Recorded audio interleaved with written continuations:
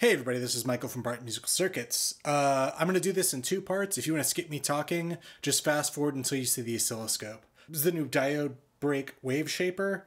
Uh, what this does is takes an input signal that would be a waveform and it's going to split it up into different five different wave bands. So uh, plus two, that would be the highest voltage one. So that would be the very top peak of a triangle wave. Minus two would be the very bottom peak. Uh, minus one would be like kind of the middle third zero would be the absolute center and plus one would be kind of that top third. Um, and so what you then do after you've broken your signal down into these uh, different bands is you then add them back together using these level knobs. Uh, and these can either invert or uh, put the non-inverted signal together. And so you can have these different little phase changes within a waveform that weren't there before. Uh, and the thresholds for where these uh, voltages break down, that's based on the break voltage, uh, which is this knob down here and you can use a control voltage to manipulate that break voltage as well. Uh, the only other control besides you know the input and output jacks is our input uh, attenuator. This is going to control how much distortion you have on the end, and also it's going to affect uh, the relative thresholds. Uh, as the waveform gets smaller, the thresholds will seem larger.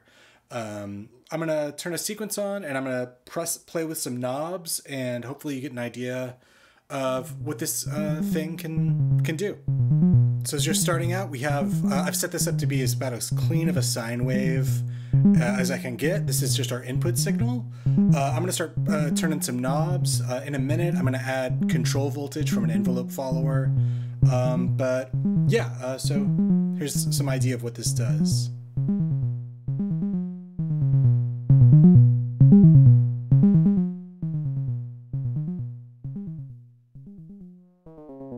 Thank you.